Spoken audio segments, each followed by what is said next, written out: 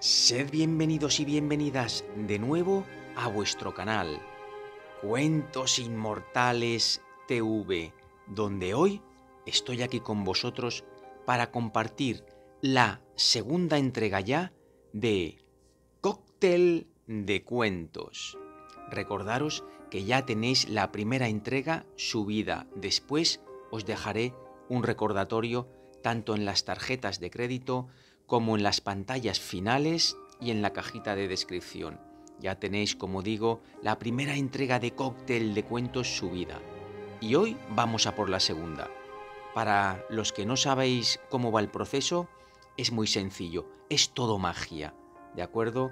Primero, mágicamente traemos a la coctelera unos cuantos cuentos. A partir de ahí, los cuentos seleccionados, introducidos en la coctelera, los agitamos bien, los agitamos bien, y de ahí es de donde saldrán los cuentos seleccionados para el día de hoy. Bueno, antes de continuar, como siempre, daros las gracias a todos por aportar, por aportar aquí al canal vuestra escucha, vuestros likes, vuestros comentarios y sobre todo vuestras buenas vibraciones. Muchísimas gracias. Bien, pues vamos a comenzar con la magia. Primer redoble de tambores.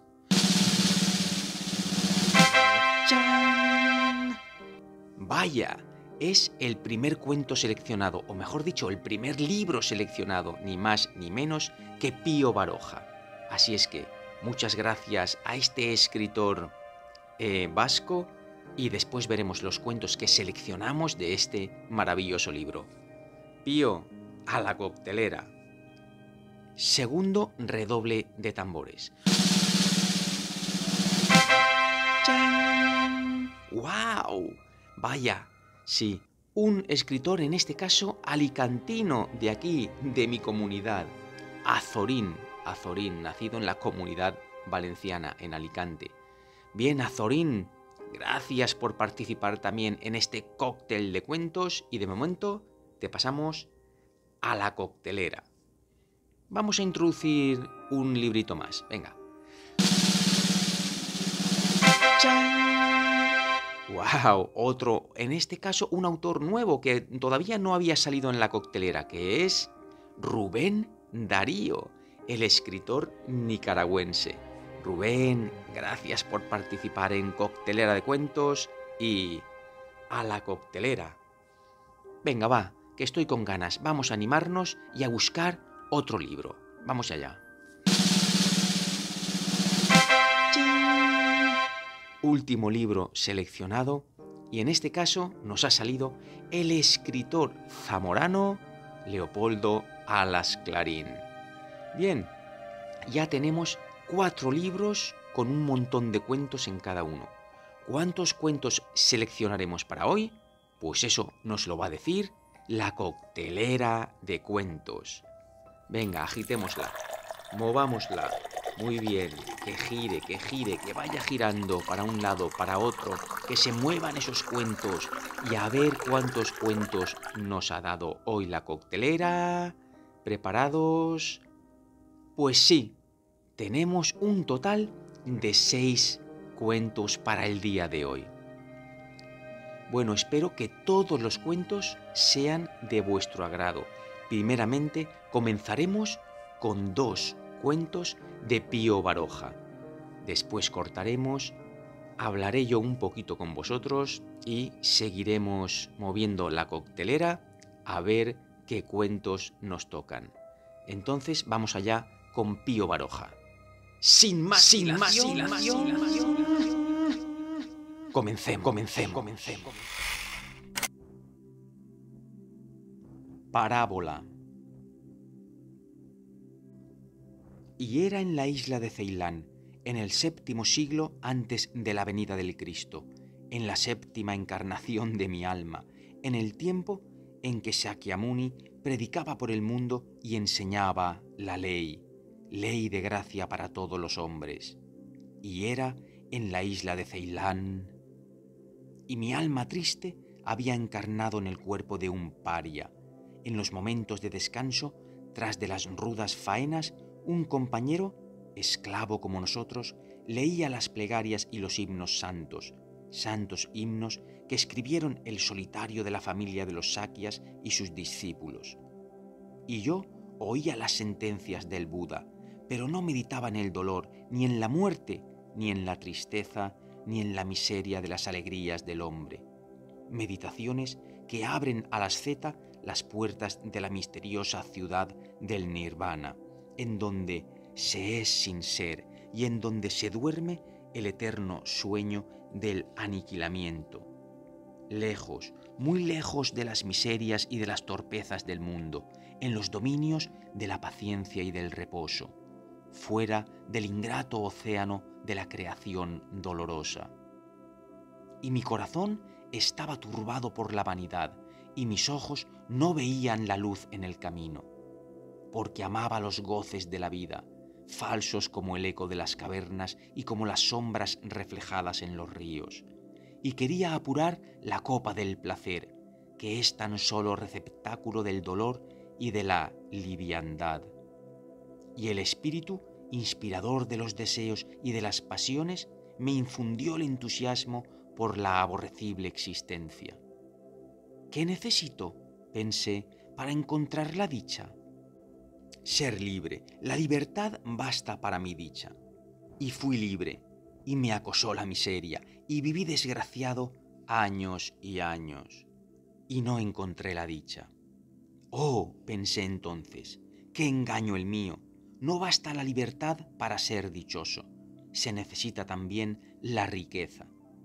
Un día me encontré dueño de una fortuna considerable y vi satisfechos sin esfuerzos mis necesidades y mis deseos. Y no encontré la dicha. ¿De qué me vale la riqueza? dije después, si mis mayores ambiciones no puedo satisfacerlas. Oh, si yo fuera poderoso. Y fui poderoso y tuve un país bajo mi dominio y esclavos y elefantes gigantescos y carros de oro y jardines colgantes y mujeres adornadas con piedras preciosas. Y no encontré la dicha. Y cuando el poderío se me hizo repulsivo, quise ser sabio, y estudié en Egipto, y en Babilonia, y en Persia, y en Caldea, y medí la distancia de los astros y calculé las alturas del sol. Y vi que en la mucha sabiduría hay mucha molestia, y que quien añade ciencia añade dolor, y no encontré la dicha. Y recorrí el mundo hasta las tierras del extremo occidente, y vi las grandes y fastuosas ciudades del Mediterráneo, cuna de los más refinados placeres, y no encontré la dicha.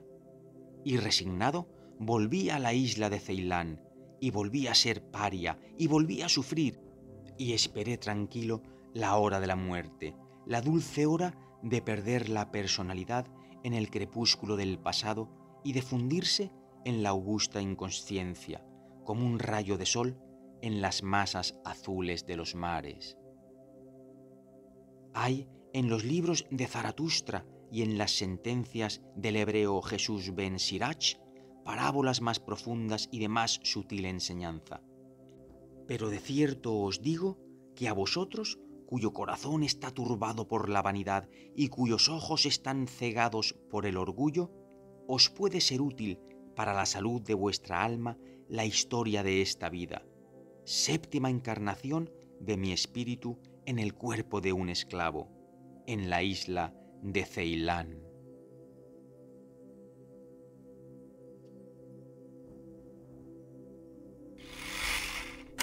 Bien, primer alto en el camino.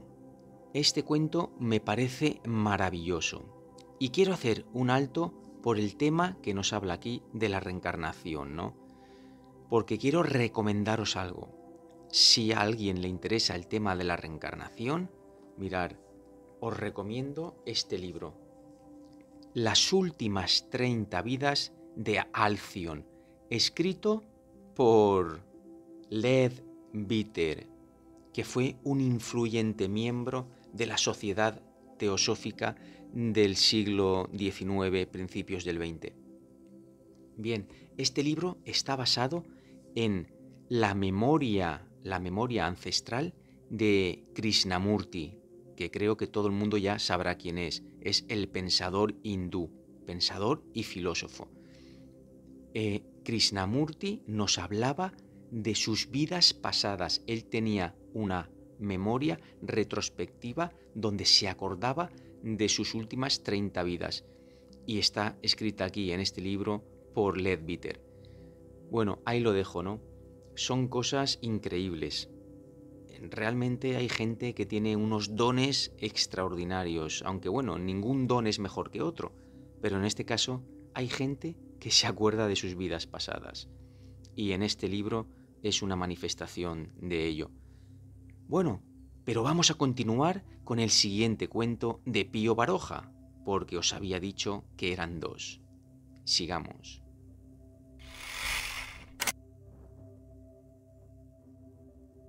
Elizabide el vagabundo.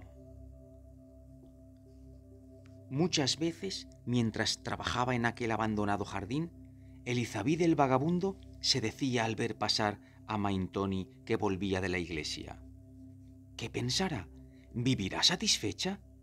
La vida de Maintoni le parecía tan extraña porque era natural que quien como él había andado siempre a la buena de Dios, rodando por el mundo, encontrara la calma y el silencio de la aldea deliciosos.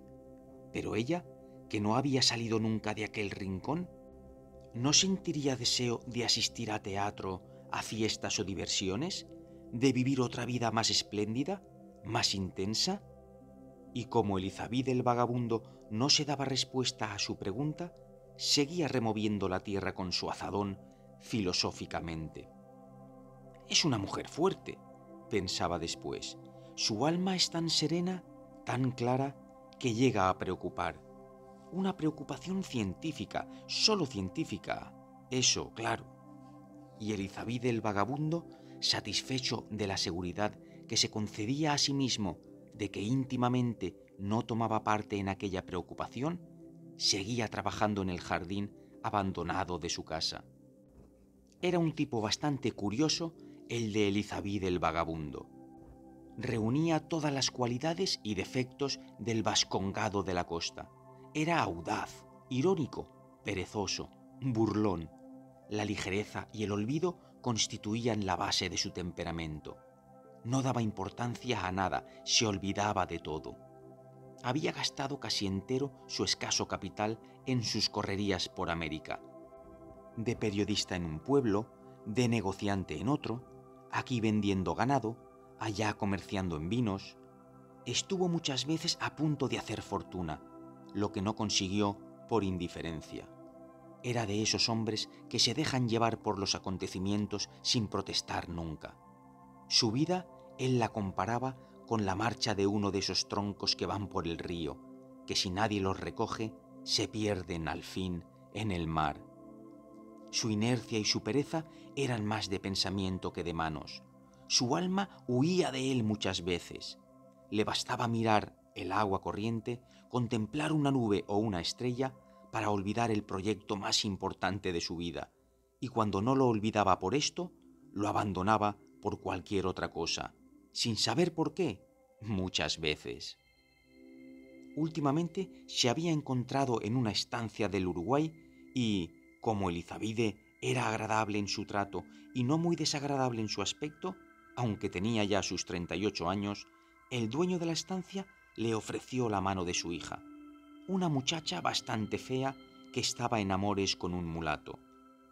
Elizabide, a quien no le parecía mal la vida salvaje de la estancia, aceptó y ya estaba para casarse cuando sintió la nostalgia de su pueblo, del olor a heno de sus montes, del paisaje brumoso de la tierra vascongada.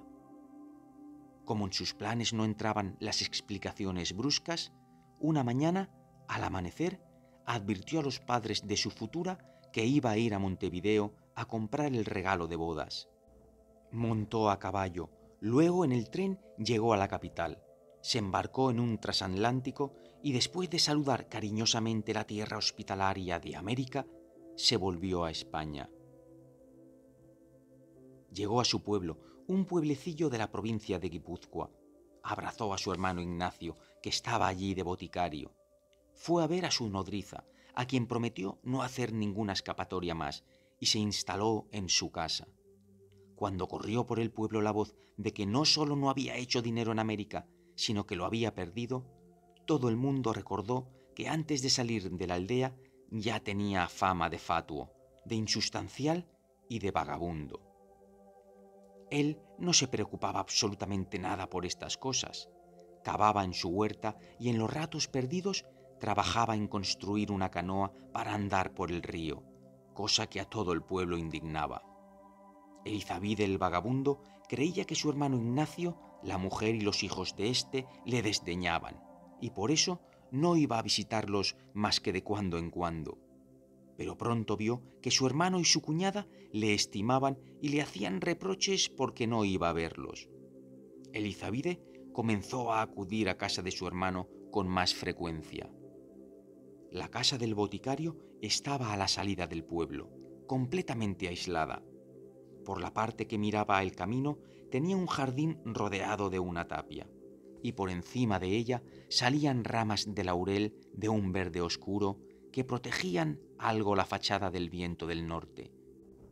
Pasado el jardín estaba la botica. La casa no tenía balcones, sino solo ventanas, y éstas abiertas en la pared sin simetría alguna. Quizá esto era debido a que algunas de ellas estaban tapiadas. Al pasar en el tren o en el coche por las provincias del norte, ¿No habéis visto casas solitarias que sin saber por qué os daban envidia?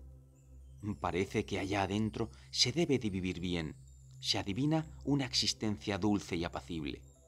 Las ventanas con cortinas hablan de interiores casi monásticos, de grandes habitaciones amuebladas con arcas y cómodas de nogal, de inmensas camas de madera, de una existencia tranquila, sosegada, cuyas horas pasan lentas, medidas por el viejo reloj de alta caja, que lanza en la noche su sonoro tic-tac.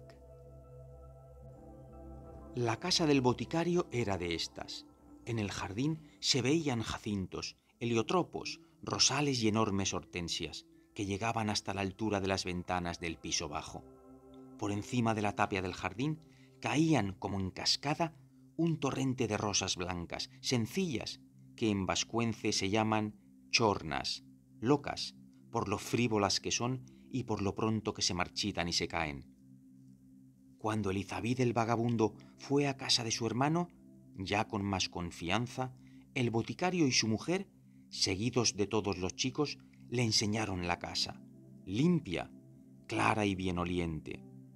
Después fueron a ver la huerta, y aquí Elizabeth el vagabundo vio por primera vez a Maintoni, que con la cabeza cubierta con un sombrero de paja estaba recogiendo guisantes en la falda del delantal. Elizabide y ella se saludaron fríamente. Vamos hacia el río, le dijo a su hermana la mujer del boticario. Diles a las chicas que lleven el chocolate allí. Maintoni se fue hacia la casa y los demás, por una especie de túnel largo, formado por perales que tenían las ramas extendidas como las varillas de un abanico, bajaron a una plazoleta que estaba junto al río, entre árboles, en donde había una mesa rústica y un banco de piedra. El sol, al penetrar entre el follaje, iluminaba el fondo del río, y se veían las piedras redondas del cauce y los peces que pasaban lentamente, brillando como si fueran de plata. La tarde era de una tranquilidad admirable, el cielo azul, puro, tranquilo. Antes de caer la tarde, las dos muchachas de casa del boticario vinieron con bandejas en la mano, trayendo chocolate y bizcochos. Los chicos se abalanzaron sobre los bizcochos como fieras. Elizabeth el vagabundo habló de sus viajes, contó algunas aventuras y tuvo suspensos de sus labios a todos. Solo ella, Maintoni, pareció no entusiasmarse gran cosa con aquellas narraciones. Mañana vendrás, tío Pablo, ¿verdad? le decían los chicos. Sí, vendré. Y Elizabide el vagabundo se marchó a su casa y pensó en Maintoni y soñó con ella. La veía en su imaginación tal cual era. Chiquitilla, esbelta, con sus ojos negros, brillantes, rodeada de sus sobrinos que la abrazaban y la besuqueaban. Como el mayor de los hijos del boticario estudiaba el tercer año del bachillerato, Elizabide se dedicó a darle lecciones de francés, y a estas lecciones se agregó Maintoni. Elizabide comenzaba a sentirse preocupado con la hermana de su cuñada, tan serena, tan inmutable. No se comprendía si su alma era un alma de niña, sin deseos ni aspiraciones, o si era una mujer indiferente a todo lo que se relacionase con las personas que vivían en su hogar. El vagabundo la solía mirar absorto. ¿Qué pensará? Se preguntaba. Una vez se sintió atrevido y le dijo, ¿Y usted no piensa casarse, Maintoni? ¿Yo casarme? ¿Por qué no? ¿Quién va a cuidar de los chicos si me caso? Además, yo ya soy Nescazarra, solterona, contestó ella riéndose. ¿A los 27 años solterona? Entonces, yo que tengo 38, debo de estar en el último grado de la decrepitud. Maintoni a esto no dijo nada. No hizo más que sonreír. Aquella noche, Elizabide se asombró al ver lo que le preocupaba a la Maintoni. ¿Qué clase de mujer es esta? se decía. De orgullosa no tiene nada, de romántica tampoco, y sin embargo... En la orilla del río, cerca de un estrecho desfiladero, brotaba una fuente que tenía un estanque profundísimo. El agua parecía allí de cristal, por lo inmóvil. Así era quizá el alma de Maintoni, se decía Elizabide, y sin embargo... Sin embargo, a pesar de sus definiciones, la preocupación no se desvanecía. Al revés, iba haciéndose mayor. Llegó el verano. En el jardín de la casa del boticario reuníase toda la familia, Maintoni y Elizabide el vagabundo. Nunca fue este tan exacto como entonces, nunca tan dichoso y tan desgraciado al mismo tiempo. Al anochecer, cuando el cielo se llenaba de estrellas y la luz pálida de Júpiter brillaba en el firmamento, las conversaciones se hacían más íntimas, más familiares, coreadas por el canto de los sapos. Maintoni se mostraba más expansiva, más locuaz. A las nueve de la noche, cuando se oía el sonar de los cascabeles de la diligencia que pasaba por el pueblo, con un gran farol sobre la capota del pescante, se disolvía la reunión y Elizabide se marchaba a su casa, haciendo proyectos para el día de mañana, que giraban siempre alrededor de Maintoni. A veces, desalentado, se preguntaba, ¿no es imbécil haber recorrido el mundo para venir a caer en un pueblecillo y enamorarse de una señorita de aldea? ¿Y quién se atrevía a decir nada a aquella mujer tan serena, tan impasible? Fue pasando el verano Llegó la época de las fiestas y el boticario y su familia se dispusieron a celebrar la romería de Arnazábal, como todos los años. ¿Tú también vendrás con nosotros? le preguntó el boticario a su hermano. Yo no. ¿Por qué no? No tengo ganas. Bueno, bueno, pero te advierto que te vas a quedar solo, porque hasta las muchachas vendrán con nosotros. ¿Y usted también? dijo Elizabide a Maintoni. Sí, ya lo creo. A mí me gustan mucho las romerías. No hagas caso, que no es por eso, replicó el boticario. Va a ver al médico de Arnazábal, que es un muchacho joven que el año pasado le hizo el amor. ¿Y por qué no? exclamó Maintoni sonriendo. Elizabeth el vagabundo palideció, enrojeció, pero no dijo nada. La víspera de la romería, el boticario le volvió a preguntar a su hermano con que vienes o no. Bueno, iré, murmuró el vagabundo. Al día siguiente se levantaron temprano y salieron del pueblo. Tomaron la carretera y después, siguiendo veredas, atravesando prados cubiertos de altas hierbas y de purpúreas digitales, se internaron en el monte. La mañana estaba húmeda, templada, el campo mojado por el rocío, el cielo azul muy pálido, con algunas nubecillas blancas que se deshilachaban en estrías tenues. A las diez de la mañana llegaron a Arnazábal, un pueblo en un alto, con su iglesia, su juego de pelota en la plaza y dos o tres calles formadas por caseríos. Entraron en el caserío propiedad de la mujer del boticario y pasaron a la cocina. Allí comenzaron los agasajos y los grandes recibimientos de la vieja de la casa, que abandonó su labor de echar ramas al fuego y de mecer la cuna de un niño. Se levantó del fogón bajo, en donde estaba sentada, y saludó a todos, besando a Maintoni, a su hermana y a los chicos. Era una vieja flaca, acartonada, con un pañuelo negro en la cabeza. Tenía la nariz larga y ganchuda, la boca sin dientes, la cara llena de arrugas y el pelo blanco. ¿Y vuestra merced es el que estaba en las Indias? preguntó la vieja a Elizabide, encarándose con él. Sí, yo era el que estaba allá.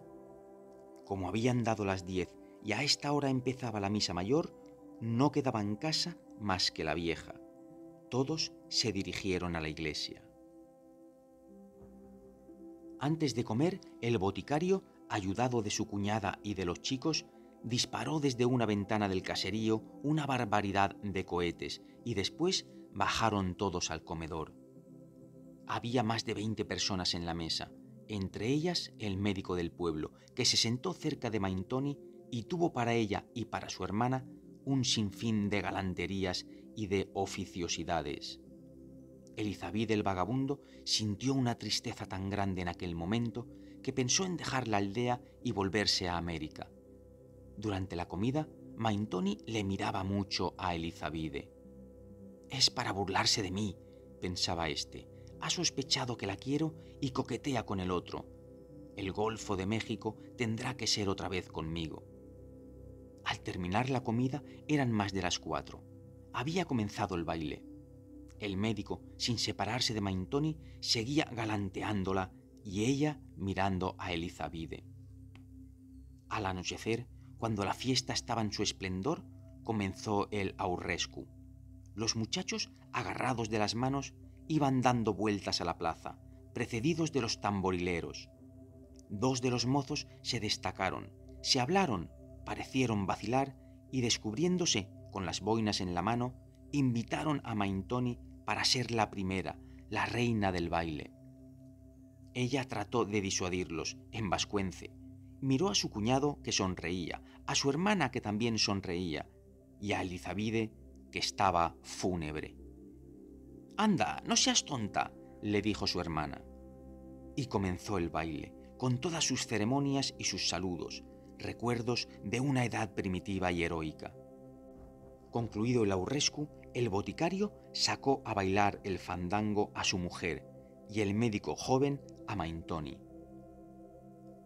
Oscureció, fueron encendiéndose hogueras en la plaza y la gente fue pensando en la vuelta. Después de tomar chocolate en el caserío, la familia del boticario y Elizabide emprendieron el camino hacia casa. A lo lejos, entre los montes, se oían los irintzú de los que volvían de la romería, gritos como relinchos salvajes.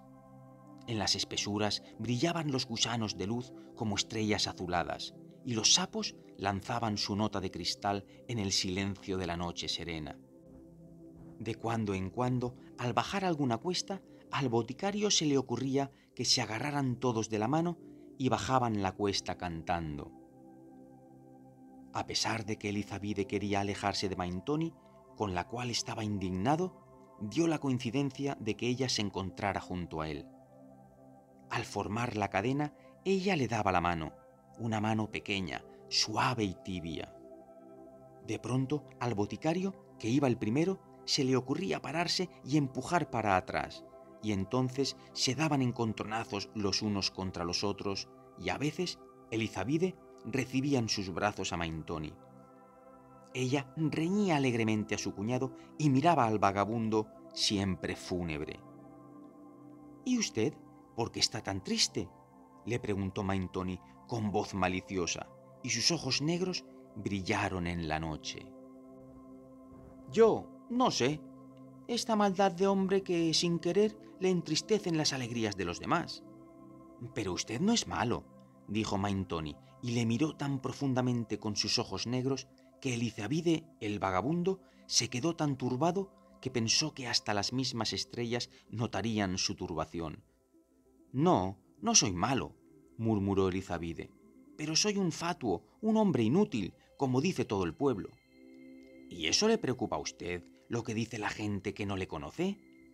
Sí, temo que sea la verdad, y para un hombre que tendrá que marcharse otra vez a América, ese es un temor grave. ¿Marcharse? ¿Se va usted a marchar? murmuró Maintoni con voz triste. Eh, sí, pero ¿por qué? Oh, a usted no se lo puedo decir. ¿Y si yo lo adivinara? Entonces lo sentiría mucho, porque se burlaría usted de mí, que soy viejo. Oh, no, eh, que soy pobre. No importa. Oh, Maintoni, ¿de veras? ¿No me rechazaría usted? No, al revés.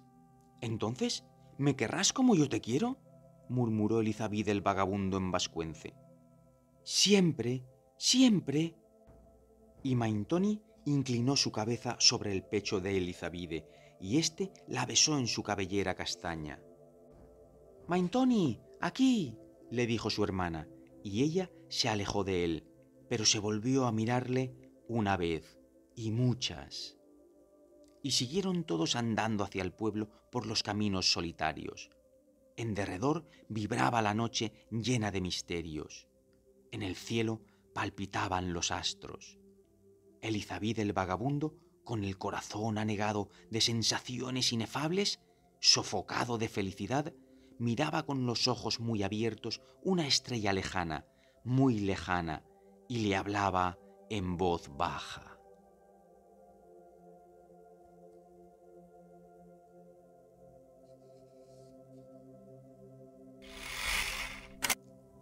¿Y bien? ¿Qué os ha parecido este segundo cuento de Baroja? Elizabide el Vagabundo, un personaje que ha viajado por las Américas en aquella época, que gastó parte de su vida viajando alrededor del mundo y que finalmente se establece en su pueblecito natal, donde se enamora perdidamente de esa muchacha. Bueno, a mí me ha parecido un cuento bastante interesante. De verdad, si lo estáis disfrutando, no lo penséis, dejarme el like, que es muy importante. Después, en algunas publicaciones hay miles de visualizaciones y los likes pues brillan por su ausencia y son muy importantes, os lo agradezco de verdad. Pero ahora vamos a pasar a la siguiente toma de cuentos, que son cuentos de Azorín. Y el primero que os voy a poner es un cuento taurino, sí, de un torero pero tengo que decir que yo soy antitaurino, por supuesto. Yo estoy en contra de esa tradición de matar animales, por supuesto, y claro que sí, y lo defiendo aquí.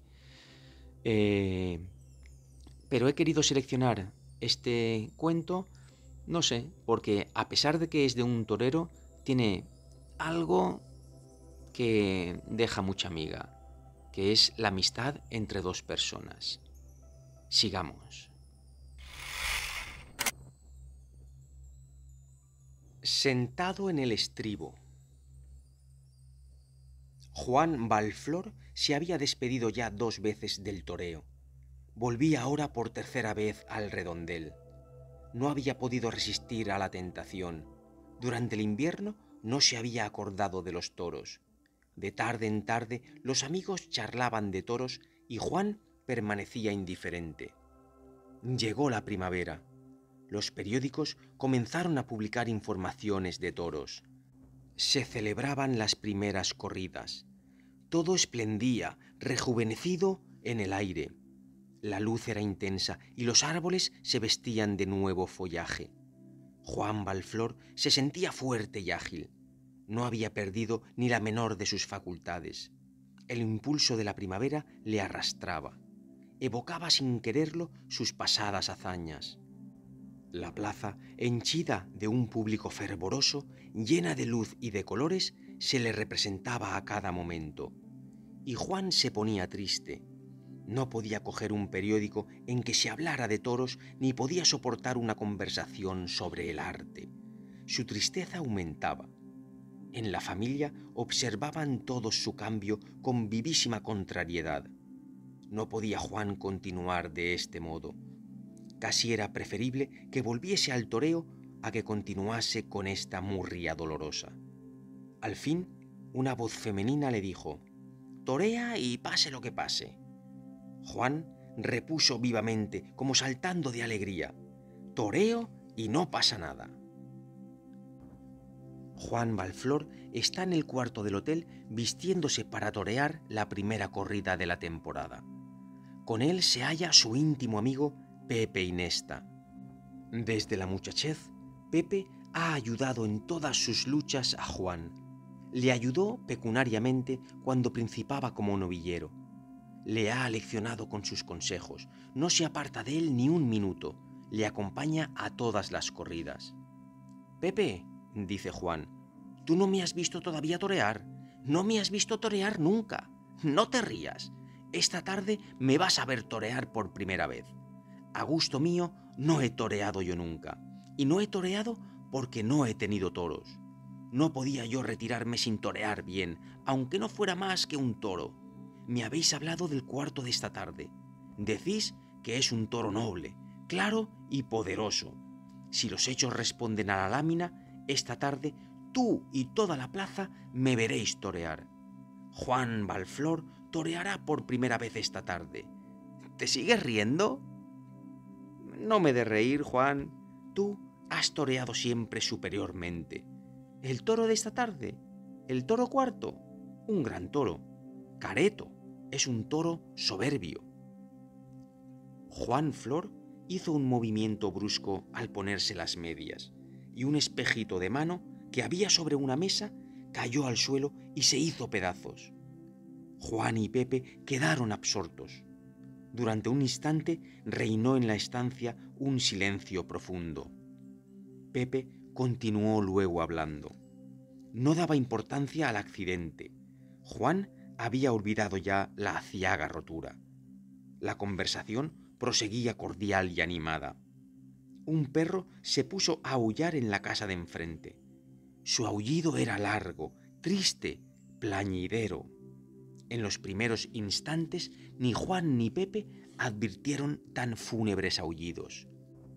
La persistencia en el ladrar hizo que los dos amigos pararan su atención en el hecho. En el silencio resonaban malagoreros los ladridos del can. Salió un momento del cuarto Pepe y volvió al cabo de un rato. ¿No podías hacer que callara ese perro? dijo Juan. Ya he mandado recado, contestó Pepe, pero resulta que los dueños de la casa se han marchado y han dejado el perro en el balcón. El tiempo pasaba. Se iba acercando la hora de la corrida. La expectación en toda la ciudad por ver a Juan Valflor era enorme. Los pasillos del hotel estaban llenos de amigos y admiradores que aguardaban a que Juan acabara de vestirse para irle acompañando a la plaza. Pepe había dado orden terminante de que no entrase nadie en el cuarto. El perro continuaba aullando lúgubremente. La alegría con que antes se deslizaba la conversación de los dos amigos había cesado. Juan se iba vistiendo con movimientos lentos. Había en el ambiente algo que causaba tenaz preocupación. De pronto la puerta se abrió y se precipitó en el cuarto un caballero que se arrojó en los brazos de Juan. Era un antiguo e íntimo amigo a quien Juan no había visto desde hacía muchos años. Cuando se separaron, Juan pasó por su amigo la vista de arriba abajo y vio que iba vestido de riguroso luto. Se le había muerto a este caballero un deudo cercano hacía poco tiempo. No sabía Juan lo que decir. No decía nada Pepe. Callaba el recién venido. En este denso y embarazoso silencio, los persistentes aullidos del perro resaltaban trágicamente. Todo había cambiado ya. No era el mismo Juan, ni era el mismo Pepe. A veces Pepe, violentamente, con alegría forzada, soltaba algún chiste. No se reía nadie. Otras veces, venciendo su emoción, evocaba recuerdos pasados. Nadie le secundaba en la charla. La hora de partir estaba próxima.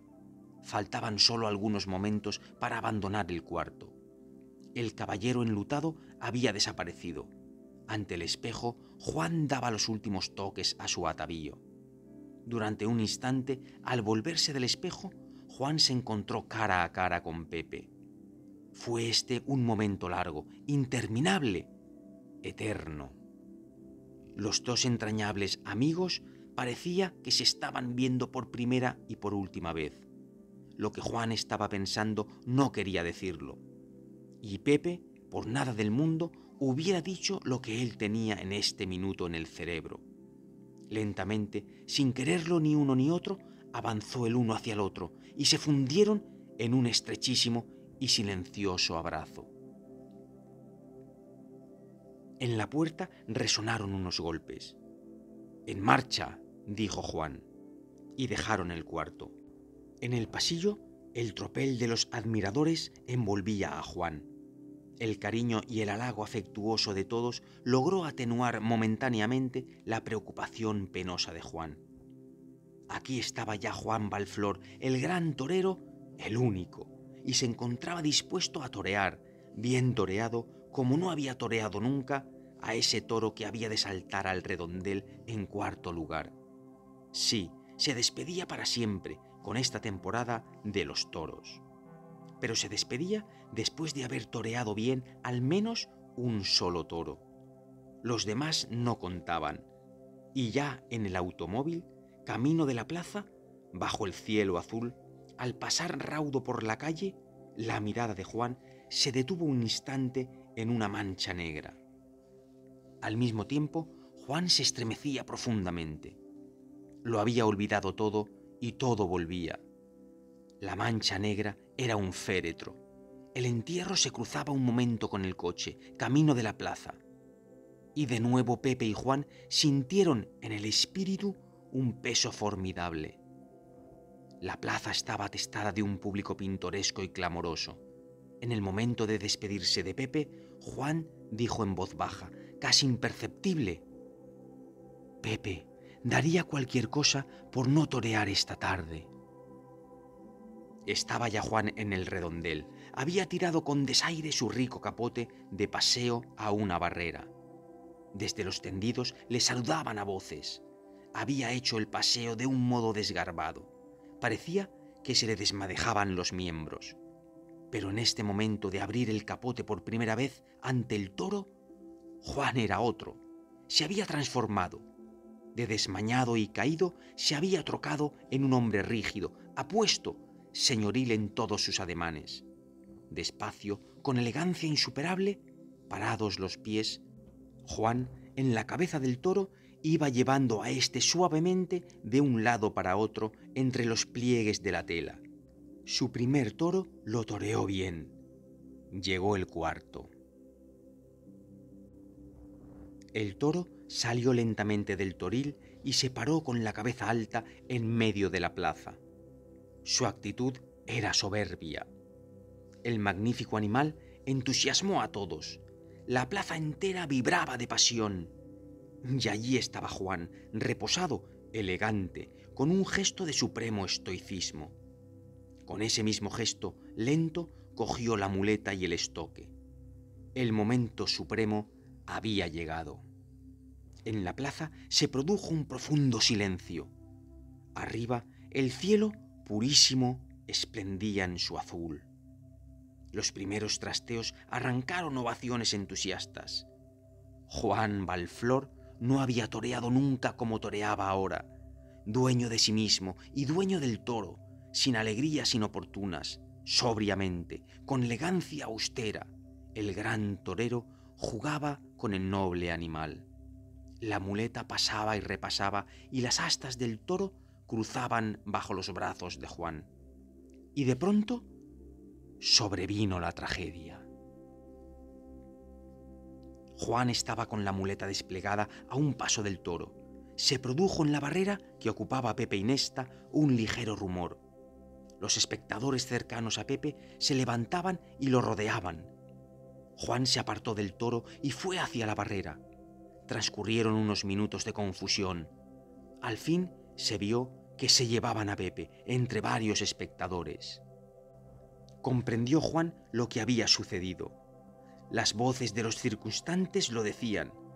¿Ha muerto Pepe? preguntó Juan a uno de los peones. Di la verdad, no me engañes.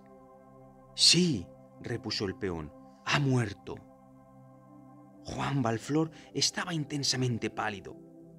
Impasible, más erguido que antes, volvió al toro y continuó la faena.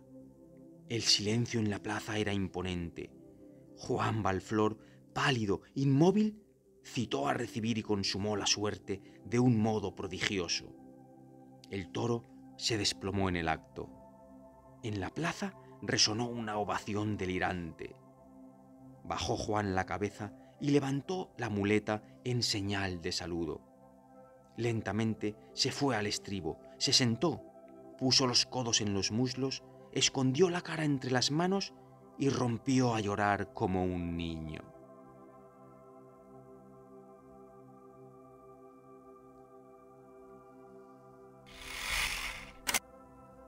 Bien, ¿qué os ha parecido este cuento de Sentado en el estribo de el ínclito Azorín? A mí me ha parecido un cuento eh, maravilloso en el sentido del último giro, el giro final del cuento. ¿Os esperabais en realidad que el que falleciera fuera Pepe, el amigo del torero? ¿Os lo esperabais? ¿O pensabais que el toro se cargaba al torero o pasaría algo entre toro y torero? El giro final ha sido bastante interesante. Bien, y ahora escucharemos el siguiente cuento de Azorín. Espero que os guste.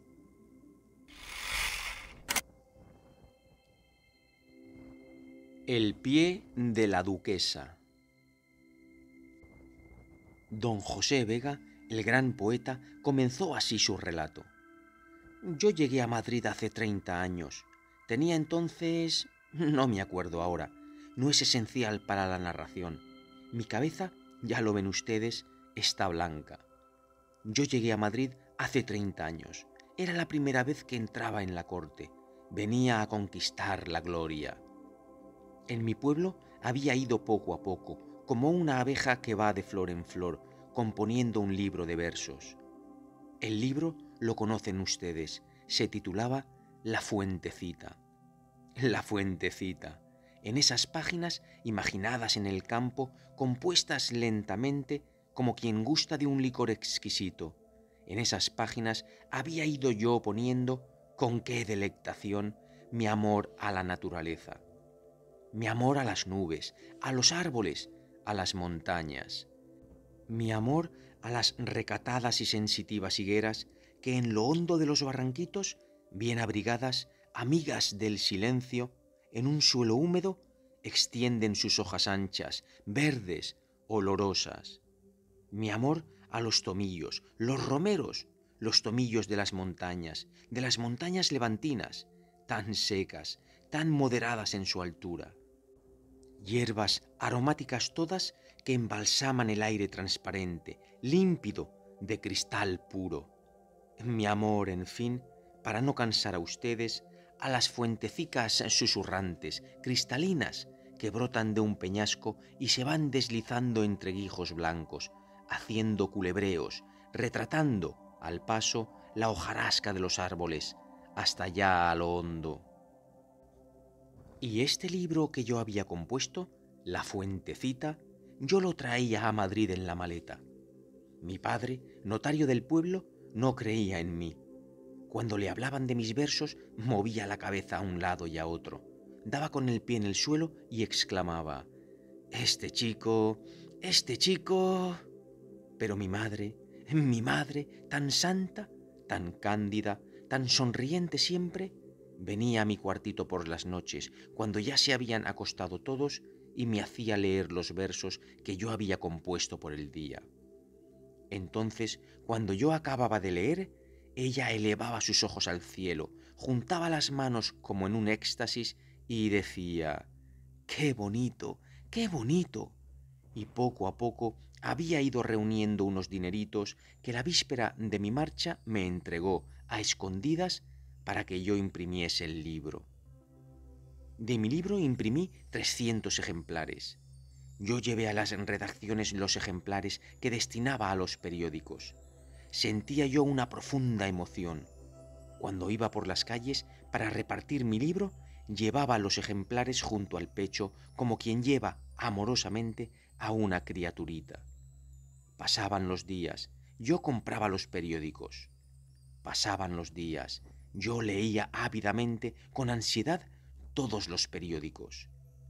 Pasaban los días, yo recorría por la mañana y por la noche las anchas planas de los periódicos.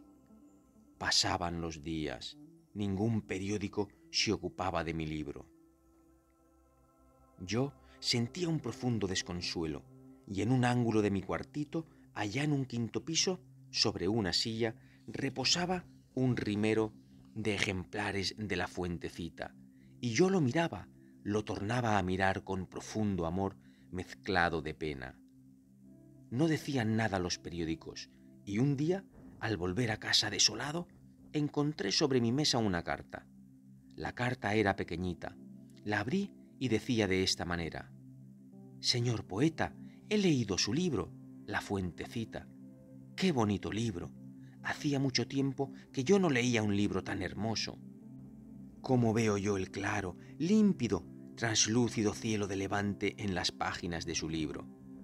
Cómo huelo las hierbas montaraces de olor tan penetrante y cómo oigo el susurro cadencioso de las fuentecitas. Señor poeta, ¿querría usted venir a verme un ratito? Estoy en casa todos los lunes, desde las cinco de la tarde. ¿Será usted tan bondadoso que venga? Y le ruego reserva, no se lo diga usted a nadie. Leeré yo, en voz alta, una de sus poesías. ¿Convenimos en ello? Y después la firma. La firma era esta. La duquesa de Rodero. La carta me produjo una honda emoción. ¿Sería verdad lo que estaba leyendo? ¿Sería verdad que hay duquesas que se enamoran de los poetas? Yo no sabía lo que pensar, no acertaba a decidir nada. Con la carta en la mano, permanecía absorto, ensimismado, un largo rato.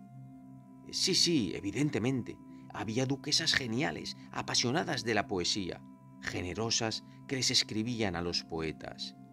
Y la prueba de ello era que yo tenía entre mis manos una carta de una duquesa. Yo, señores, era un poco romántico, es decir, ingenuo en aquellos años, los años de mi juventud. Decidí al fin, naturalmente, acudir a la cita de la duquesa Llegó el lunes, me encaminé hacia el palacio de los duques de Rodero. Llegué ante la puerta, traspuse el umbral y pregunté al portero. El portero me hizo subir por una escalera magnífica. Arriba me hicieron entrar en una sala ancha, cubiertas las paredes de cuadros, con el piso de madera luciente. El más profundo silencio reinaba en la estancia. El tiempo iba pasando cuando transcurrió el primer cuarto de hora, yo no sentí extrañeza ninguna. En un palacio el tiempo es otra cosa que en un cuchitril de un quinto piso. Después de la media hora de espera, ya la impaciencia iba entrando en mi espíritu. Al pasar tres cuartos de hora, ya me sentía desasosegado. No podía explicarme esta dilación. La duquesa debía de saber que yo estaba allí esperando.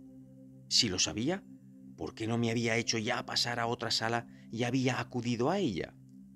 Pero en fin, yo no conocía después de todo las costumbres de los palacios. Y de pronto crujió levemente el piso de madera. Yo me volví con un movimiento repentino y me hallé frente a un viejecito que avanzaba hacia mí. Era un viejecito de patillas blancas. La blancura de las patillas hacía resaltar lo colorado de sus pómulos sonreía y se refregaba las manos una contra la otra. Cuando estuvo ante mí, se inclinó con ligera reverencia. Yo me incliné también. ¿Qué desea usted, caballero? me dijo. Ver a la señora duquesa, dije yo. El viejecito volvió a sonreír, se refregó con más fuerza las manos y repuso. Ah, la señora duquesa, la señora duquesa, la señora duquesa, la señora duquesa. Yo creí que no iba a acabar nunca su letanía de duquesas. Estoy citado aquí, le atajé. La duquesa ha tenido la bondad de mandarme venir. Y el viejecito, de mandarle venir, de mandarle venir, de mandarle venir. Eh, sí, sí, insistí yo un poco nervioso. Sí, sí, de mandarme venir. Tengo una carta suya. Y otra vez el viejecito. Una carta suya. Una carta suya. Una carta suya. La tengo aquí, exclamé yo. La tengo aquí. Hubo una pausa. El viejecito me miraba sonriendo. En silencio cogió la carta que yo le tendía, la examinó ligeramente y dijo, Esta joven no es la letra de la duquesa. ¿Cómo? ¿Que no es la letra de la duquesa? exclamé yo, emocionado, pálido. No, no, no, no. Esta no es la letra de la duquesa. Una mixtificación, una mixtificación, una mixtificación. Y no añadió más. En un momento, ¿lo creerán ustedes? Todo mi romanticismo, mi ingenuidad de mozo, el candor que traía del pueblo, del campo, sufrió un rudo quebranto. Desde aquel instante comenzaba yo a ser otro hombre. Salí corriendo de casa de la duquesa. Pasaron los días. Creo que transcurrieron dos o tres semanas. Y una mañana, al volver a casa, encontré, como la otra vez, otra carta encima de mi mesa. El papel era el mismo, la letra era distinta. La carta decía así, Querido poeta, cuánto lo sentí, cuánto lo sentí cuando me enteré del lance que le ocurrió en esta casa. Fue un error, perdóneme usted, una falsa interpretación de órdenes mías hizo que no pudiera usted llegar hasta mí. ¿Me perdona usted? Sí, usted es bueno, generoso. Usted es un poeta. Usted me perdona. Me perdona y acudiré el lunes a las cinco a esta casa. La carta anterior no la escribí yo de mi mano. Esta sí. Quiero desagraviar a usted. Hasta el lunes, pues. Y sigo leyendo, releyendo, tornando a leer la fuentecita. Qué versos tan finos, tan delicados, tan sutiles. Adiós, querido poeta, hasta el lunes. Y debajo, la duquesa de Rodero. Ya no era yo el hombre ingenuo, candoroso de hacía veinte días, pero la cita me hizo una profunda impresión. Sí, esta carta era evidentemente de la duquesa de Rodero, y qué bien hablaba de mis versos. Decidí acudir, y cuando traspuse los umbrales no me llevaron, como la vez anterior, a una sala magnífica, no. Me hicieron recorrer pasillos, corredores. Luego más corredores y pasillos. Después subí, bajé, atravesé patios, volví a subir y bajar. Yo estaba cansado, mareado. Me parecía extraño, profundamente extraño, que para ver a la duquesa hubiese que correr tanto por su palacio. Yo estaba inquieto, exasperado, y atravesábamos grandes salas, recorríamos pasillos, bajábamos al piso principal, tornábamos a subir al tercer piso. Y así durante media hora, tres cuartos de hora. Por fin me vi en una ancha estancia, en donde estaban inclinados sobre pupitres seis u ocho personajes. Al entrar me llevaron ante uno de estos señores. Estuve un momento ante él. Él escribía sin verme. De pronto levantó la cabeza y me dijo, ¿La trae usted? ¿Qué es lo que he de traer? repuse yo. La factura, exclamó él con voz bronca, indignado. Yo no tengo factura, repuse yo con malos modos también. Traigo una carta de la duquesa. ¿Qué carta es esta? Replicó el escribiente. Esta carta que he recibido de la duquesa de Rodero. Se la entregué.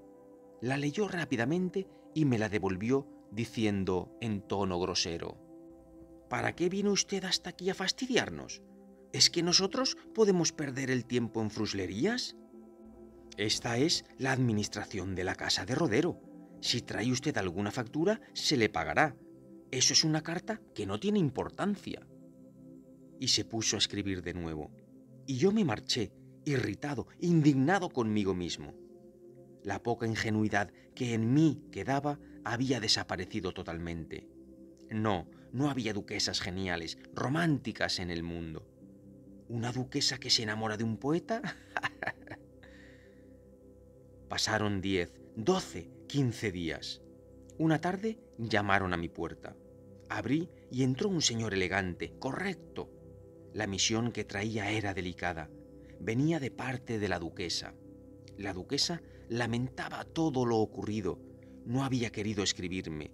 Me mandaba a su intendente, su mayordomo, para que me presentara toda clase de excusas.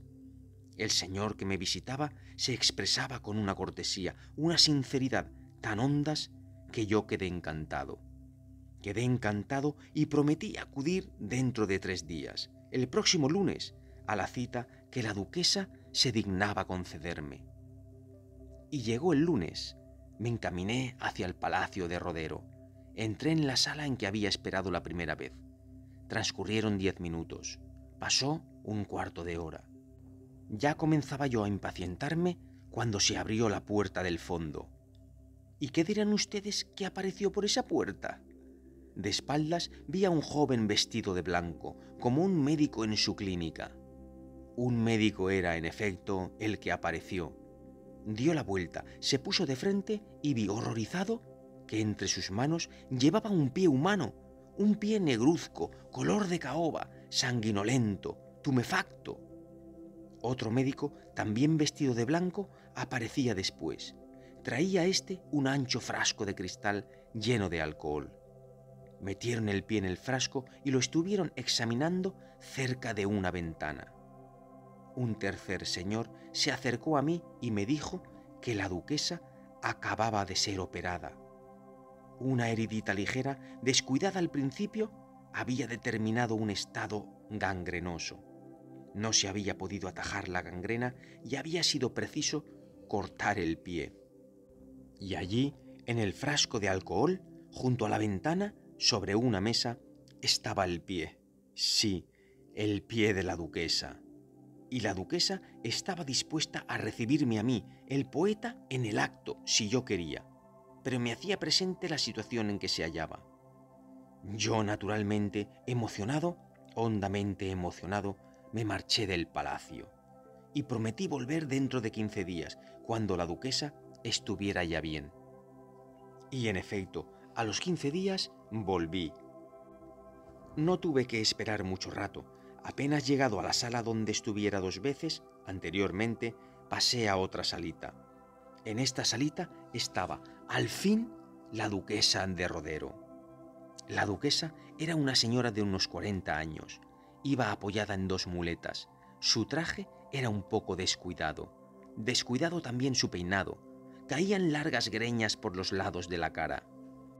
El descuido de la duquesa en su atavío se lo atribuía yo, naturalmente, a la enfermedad que sufría.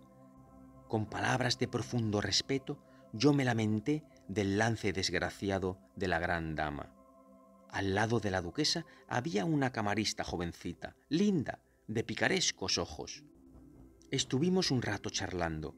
Yo comencé a sospechar algo anormal en la duquesa. No era posible el descuido ya anotado en su persona. Por otra parte, la camarista que tenía al lado me intrigaba. Y de pronto, caminando por la sala la duquesa, apoyada en sus dos muletas, yo noté que apoyaba en el suelo los dos pies. Sí, sí, los dos pies.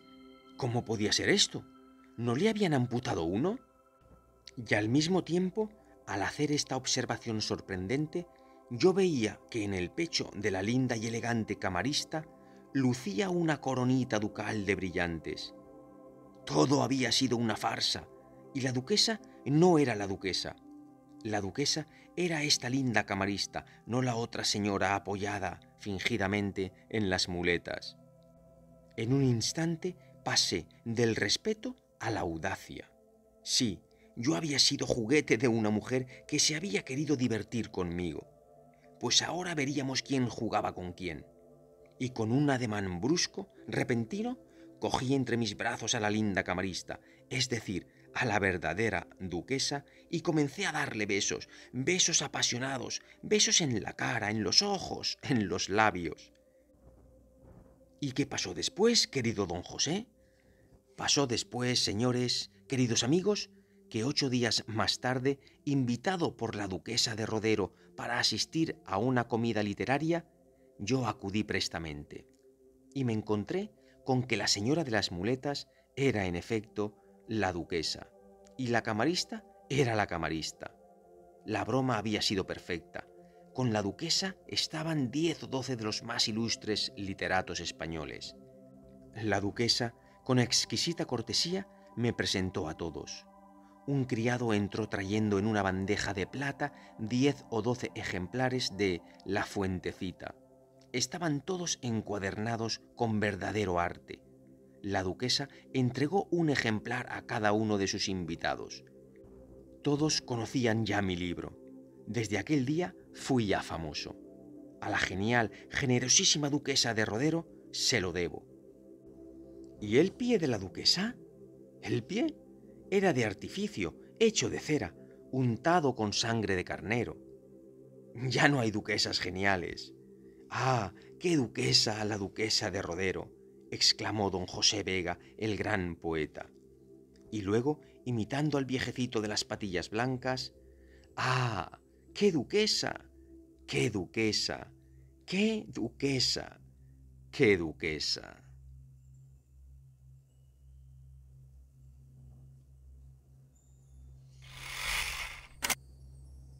¿Qué tal? ¿Os estáis relajando? ¿Estáis disfrutando con cada uno de estos cuentos?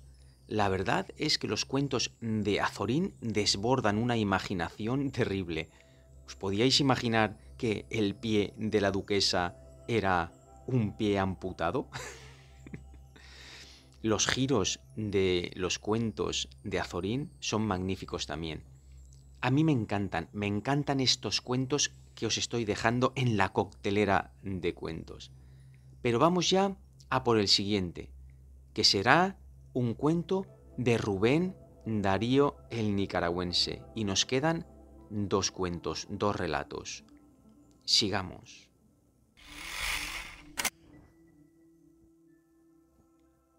El caso de la señorita Amelia. Que el doctor Z es ilustre, elocuente, conquistador, que su voz es profunda y vibrante al mismo tiempo y su gesto avasallador y misterioso, sobre todo después de la publicación de su obra sobre la plástica de ensueño, quizás podríais negármelo o aceptármelo con restricción. Pero que su calva es única, insigne, hermosa, solemne, lírica si gustáis, oh, eso nunca, estoy seguro. ¿Cómo negaríais la luz del sol, el aroma de las rosas y las propiedades narcóticas de ciertos versos?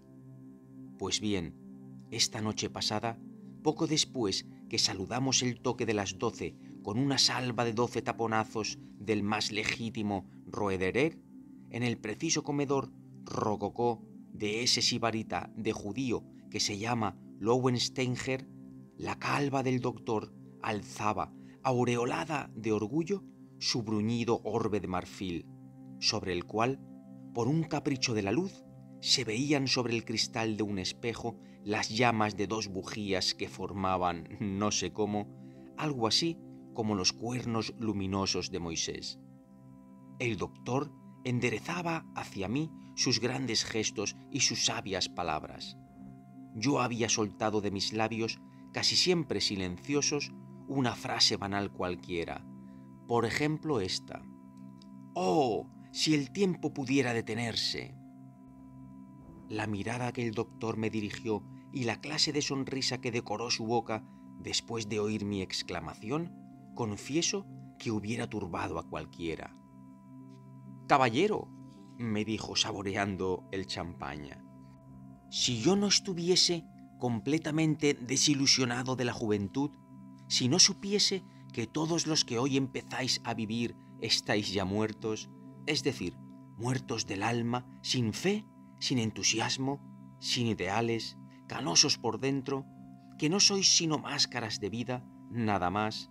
Sí, si no supiese eso, si viese en vos algo más que un hombre de fin de siglo, os diría que esa frase que acabáis de pronunciar, o si el tiempo pudiera detenerse, tiene en mí la respuesta más satisfactoria. ¿Doctor? Sí, os repito que vuestro escepticismo me impide hablar como hubiera hecho en otra ocasión. Eh, creo, contesté con voz firme y serena, en Dios y su iglesia. Creo en los milagros, creo en lo sobrenatural. En ese caso, voy a contaros algo que os hará sonreír. Mi narración espero que os hará pensar. En el comedor habíamos quedado cuatro convidados, además de Mina, la hija del dueño de la casa. El periodista Riquet, el abate Puró, recién enviado por Rich, el doctor y yo. A lo lejos oíamos en la alegría de los salones la palabrería usual de la hora primera del año nuevo. Happy New Year, Happy New Year, feliz año nuevo. El doctor continuó. ¿Quién es el sabio que se atreve a decir esto es así? Nada se sabe. Ignoramos et ignorabimus. ¿Quién conoce a punto fijo la noción del tiempo? ¿Quién sabe con seguridad lo que es el espacio? Va la ciencia a tanteo, caminando como una ciega, y juzga a veces que ha vencido cuando logra advertir un vago reflejo de la luz verdadera.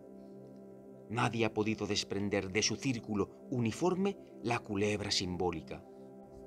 Desde el tres veces más grande, el Hermes, hasta nuestros días, la mano humana ha podido apenas alzar una línea del manto que cubre a la eterna Isis. Nada ha logrado saberse con absoluta seguridad en las tres grandes expresiones de la naturaleza.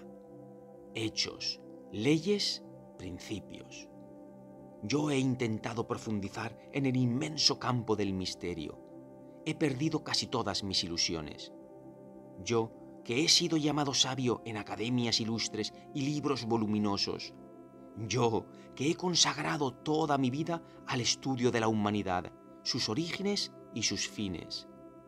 Yo que he penetrado en la cábala, en el ocultismo y en la teosofía, que he pasado del plano material del sabio al plano astral del mágico y al plano espiritual del mago, que sé cómo obraba Apolonio de Tianense y Paracelso, que he ayudado en su laboratorio en nuestros días al inglés Croques, yo que ahondé en el karma búdico y en el misticismo cristiano, y sé al mismo tiempo la ciencia desconocida de los faquires y la teología de los sacerdotes romanos. Yo os digo que no hemos visto los sabios ni un solo rayo de la luz suprema, y que la inmensidad y la eternidad del misterio forman la única y pavorosa verdad. Y dirigiéndose a mí, ¿Sabéis cuáles son los principios del hombre? Grupa, Jiva, Linga, Sarira, Kama, Rupa, Manas, Budi, Atma, es decir, el cuerpo, la fuerza vital, el cuerpo astral, el alma animal, el alma humana, la fuerza espiritual y la esencia espiritual. Viendo a Mina poner una cara un tanto desolada, me atreví a interrumpir al doctor. Me parece que ibais a demostrarnos que el tiempo... Y bien, dijo, puesto que no os placen las disertaciones por prólogo, vamos al cuento que debo contaros y es el siguiente.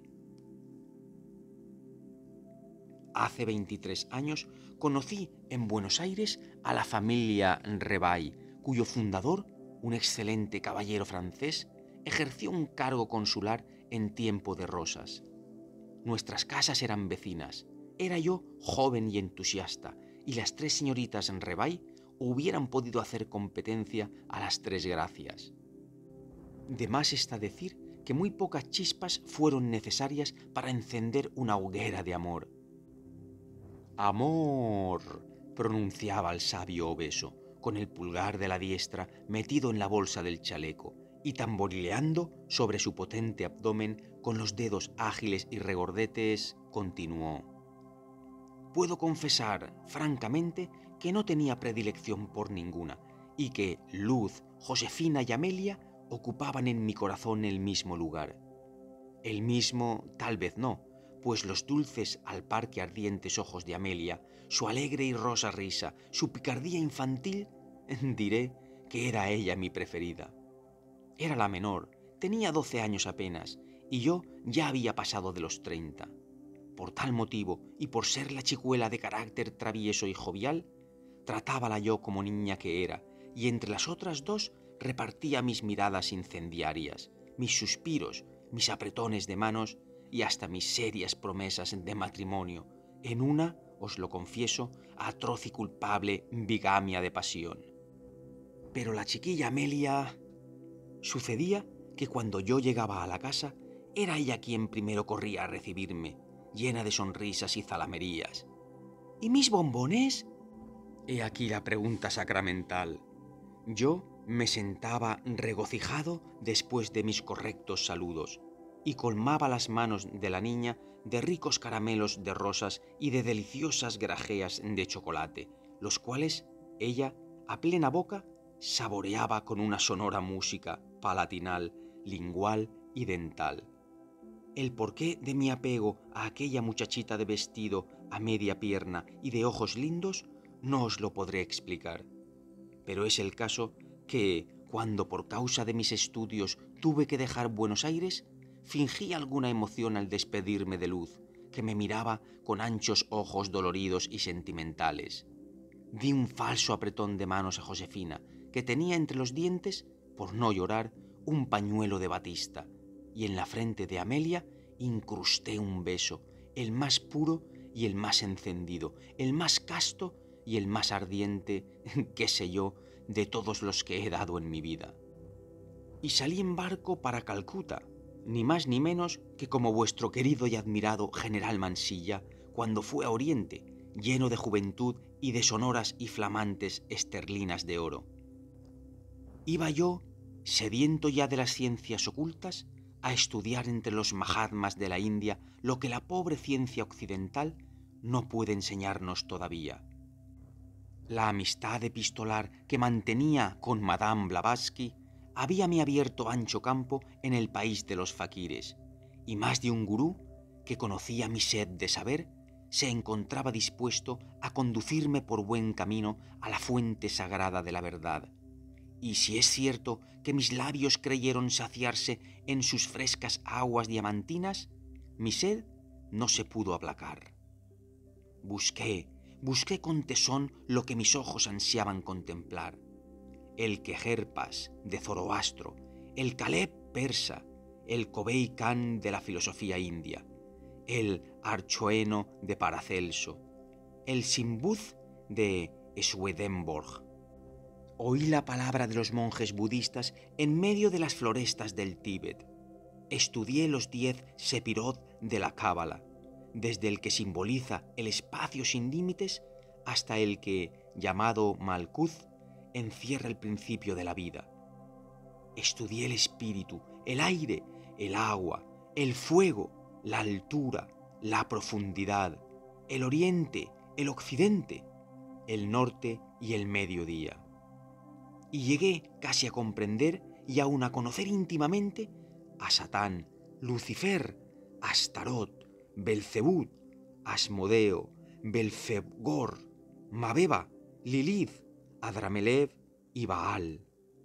En mis ansias de comprensión, en mi insaciable deseo de sabiduría, cuando juzgaba haber llegado al logro de mis ambiciones, encontraba los signos de mi debilidad y las manifestaciones de mi pobreza.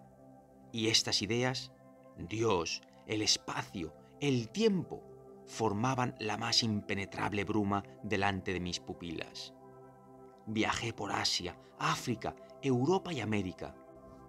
Ayudé al coronel Olcott a fundar la rama teosófica de Nueva York. Y a todo esto, recalcó de súbito el doctor mirando fijamente a la rubia mina. ¿Sabéis lo que es la ciencia y la inmortalidad de todo? Un par de ojos azules o negros. ¿Y el fin del cuento? gimió dulcemente la señorita.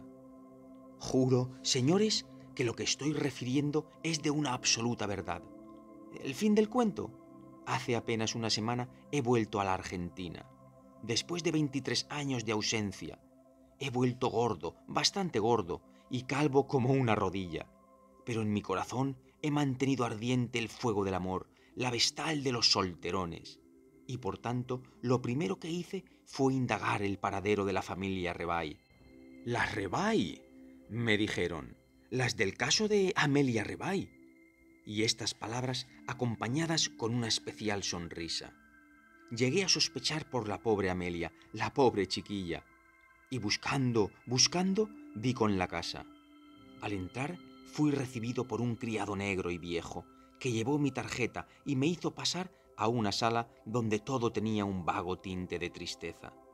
En las paredes los espejos estaban cubiertos con velos de luto y dos grandes retratos en los cuales reconocía a las dos hermanas mayores se miraban melancólicos y oscuros sobre el piano. A poco, Luz y Josefina. Oh, amigo mío, oh, amigo mío. Nada más. Luego, una conversación llena de reticencias y de timideces, de palabras entrecortadas y de sonrisas de inteligencia tristes, muy tristes. Por todo lo que logré entender, vine a quedar en que ambas no se habían casado. En cuanto a Amelia, no me atreví a preguntar nada. Quizá mi pregunta llegaría a aquellos pobres seres, como una amarga ironía, a recordar tal vez una irremediable desgracia y una deshonra. En esto vi llegar saltando a una niña, cuyo cuerpo y rostro eran iguales en todo a los de mi pobre Amelia. Se dirigió a mí y con su misma voz exclamó, ¿Y mis bombones? Yo no hallé qué decir. Las dos hermanas se miraban pálidas, pálidas, y movían la cabeza desoladamente. Mascullando una despedida y haciendo una zurda genuflexión, salí a la calle, como perseguido por algún soplo extraño. Luego lo he sabido todo. La niña que yo creía fruto de un amor culpable es Amelia, la misma que yo dejé hace 23 años, la cual se ha quedado en la infancia, ha contenido su carrera vital. Se ha detenido para ella el reloj del tiempo, en una hora señalada, quién sabe con qué designio del desconocido Dios. El doctor Z era en este momento todo calvo.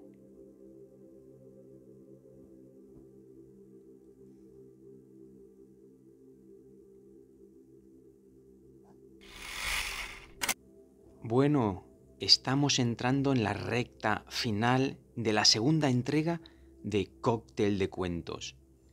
Este cuentecito de Rubén Darío, de verdad os lo digo, que si te pones a analizarlo punto por punto, puedes estar una década estudiando cada una de la vida de los personajes que nos ha mentado. Por ejemplo, nos ha hablado de el tres veces grande Hermes Trimegistro. Os lo dejo ahí, os lo dejo ahí. Nos ha hablado también de Paracelso, de Zoroastro, de Crox, el inventor de los rayos catódicos, de Isis, la diosa de la naturaleza y la fecundidad. O sea, se puede hacer un análisis de todos los personajes que nos ha dejado aquí el autor en este cuentecito y podríamos estar, como os digo, más de 10 años estudiando sus vidas, sus pensamientos y la cantidad, los regalos y las joyas que nos han dejado filosóficas estos grandes personajes. Por eso os recomiendo que este cuento lo escuchéis con atención y os quedéis con esos nombres, y al que le interese, después que los investigue.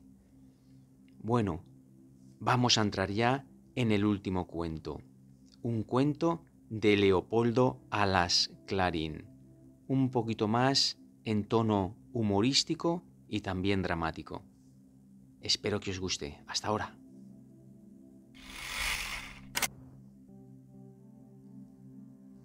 La conversión de Chiripa. Llovía a cántaros y un viento furioso, que Chiripa no sabía que se llamaba el austro, barría el mundo, implacable. Despojaba de transeúntes las calles como una carga de caballería, y torciendo los chorros que caían de las nubes, los convertía en látigos que azotaban oblicuos.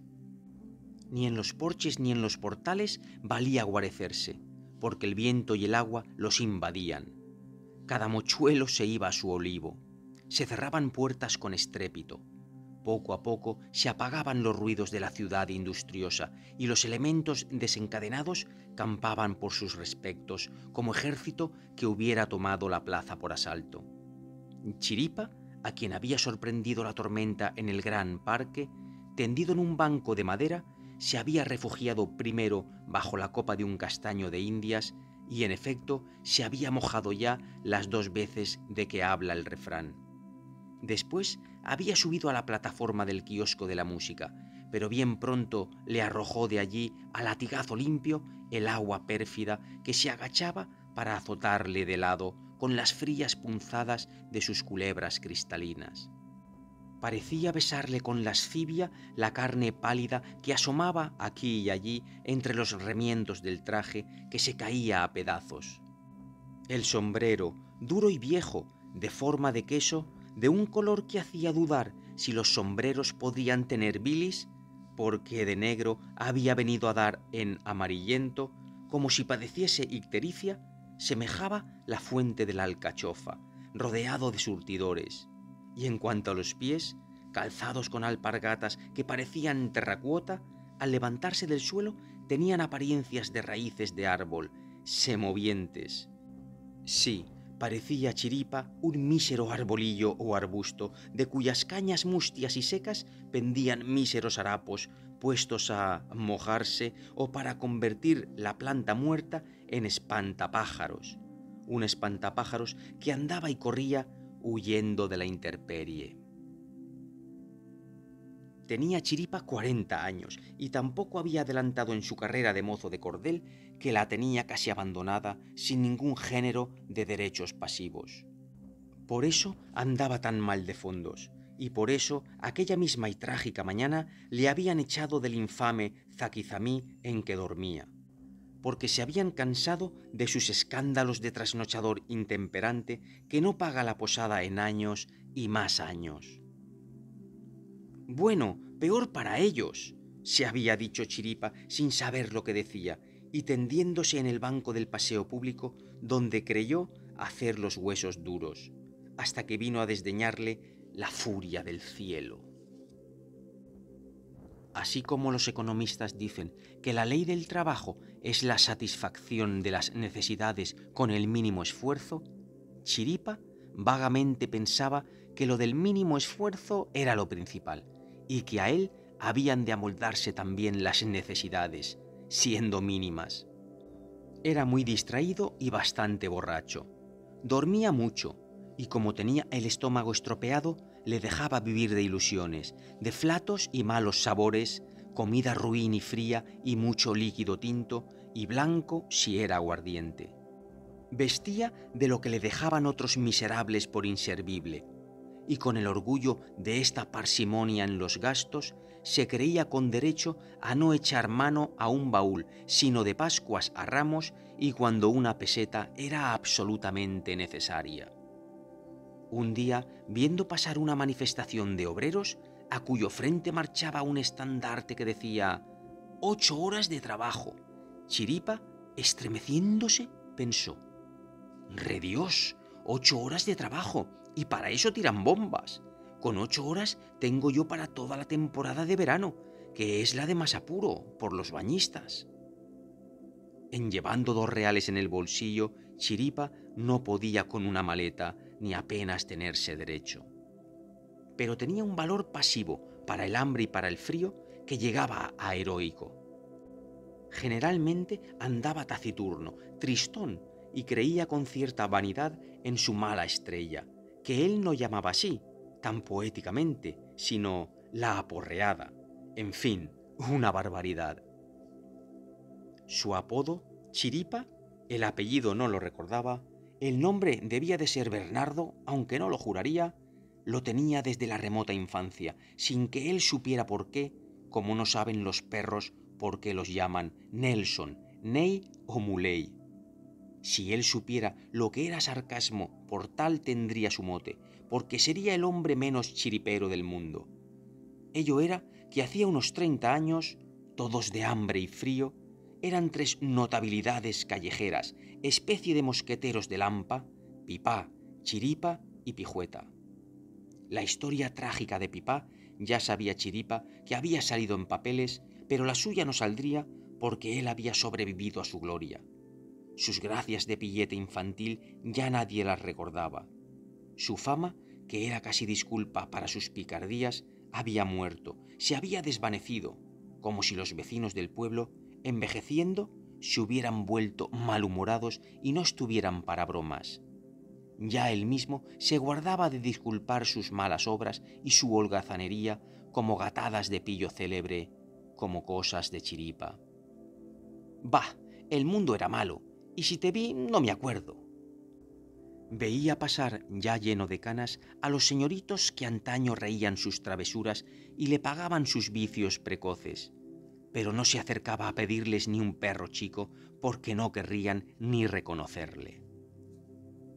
¿Que estaba solo en la tierra? Bien lo sabía él. A veces se le antojaba que un periódico o un libro viejo y sobado que oía deletrear a un obrero hubiera sido para él un buen amigo. Pero no sabía leer. No sabía nada. Se arrimaba a la esquina de la plaza, donde otros perdían el tiempo fingiendo esperar trabajo, y oía, silencioso, conversaciones más o menos incoherentes acerca de política o de la cuestión social. Nunca daba su opinión, pero la tenía. La principal era considerar un gran desatino el pedir ocho horas de trabajo prefería a oír disparates que le leyeran los papeles. Entonces atendía más. Aquello solía estar hilvanado, pero ni siquiera los de las letras de molde daban en el kit. Todos se quejaban de que se ganaba poco, todos decían que el jornal no bastaba para las necesidades. Había exageración. Si fueran como él, que vivía casi de nada, o si él trabajara aquellas ocho horas que los demás pedían como mínimo, él no pensaba mínimo, por supuesto, se tendría por millonario con lo que entonces ganaría. Todo se volvía pedir instrumentos de trabajo, tierra, máquinas, capital para trabajar, redios con la manía. Otra cosa les faltaba a los pobres que nadie echaba de menos. Consideración, respeto, lo que Chiripa con una palabra que había inventado él para sus meditaciones, de filósofo de cordel, llamaba alternancia. ¿Qué era lo de alternancia? Pues nada, lo que había predicado Cristo según había oído algunas veces. Aquel Cristo a quien él solo conocía, no para servirle, sino para llenarle de injurias, sin mala intención, por supuesto, sin pensar en él, por hablar como hablaban los demás y blasfemar como todos. La alternancia era el trato fino, la entrada libre en todas partes, el vivir mano a mano con los señores y entender de letra, y entrar en el teatro, aunque no se tuviera dinero, lo cual no tenía nada que ver con la gana de ilustrarse y divertirse. La alternancia era no excluir de todos los sitios amenos y calientes y agradables al hombre cubierto de andrajos, solo por los andrajos. Ya que por lo visto iba para largo lo de que todos fuéramos iguales tocante al cunquibus, o sean los cuartos, la moneda, y pudiera cada quisque vestir con decencia y con ropa estrenada en su cuerpo, ya que no había bastante dinero para que a todos les tocase algo, ¿por qué no se establecía la igualdad y la fraternidad en todo lo demás, en lo que podía hacerse sin gastos, como era el llamarse ricos y pobres de tú, y convidarse a una copa y enseñar cada cual lo que supiera a los pobres y saludarlos con el sombrero y dejarles sentarse junto al fuego y pisar alfombras y ser diputados y obispos y, en fin, darse la gran vida sin ofender y hasta lavándose la cara a veces si los otros tienen ciertos escrúpulos. Eso era la alternancia, eso había creído él que era el cristianismo y la democracia, y eso debía ser el socialismo, como ello mismo lo decía, cosa de sociedad, de trato, de juntarse, alternancia. Salió del kiosco de la música a escape, hecho una sopa, echando chispas contra el fundador de la alternancia y contra su padre, y se metió en la población en busca de mejor albergue. Pero todo estaba cerrado, a lo menos cerrado para él. Pasó junto a un café, no osó entrar. Aquello era público, pero a Chiripa le echarían los mozos en cuanto advirtiesen que iba tan sucio, tan harapiento que daba lástima, y que no iba a hacer el menor gasto. A un mozo de cordel en activo le dejarían entrar, pero a él, que estaba reducido a la categoría de pordiosero honorario, porque no pedía limosna, aunque el uniforme era de eso, a él le echarían poco menos que a palos. Lo sabía por experiencia. Pasó junto al gobierno de provincia, donde estaba la prevención Aquí me admitirían si estuviera borracho, pero en mi sano juicio y sin alguna fechoría, de ningún modo. No sabía Chiripa qué era todo lo demás que había en aquel caserón tan grande. Para él todo era prevención, cosas para aprender, o echar multas, o tallar a los chicos y llevarlos a la guerra. Pasó junto a la universidad, en cuyo claustro se paseaban, mientras duraba la tormenta, algunos magistrados que no tenían qué hacer en la audiencia. No se le ocurrió entrar allí. Él no sabía leer siquiera, y allí dentro todos eran sabios. También le echarían los porteros. Pasó junto a la audiencia, pero no era hora de oír a los testigos falsos, única misión decorosa que Chiripa podría llevar allí, pues la de acusado no lo era. Como testigo falso, sin darse cuenta de su delito, había jurado allí varias veces decir la verdad. Y en efecto, siempre había dicho la verdad, la verdad de lo que le habían mandado decir.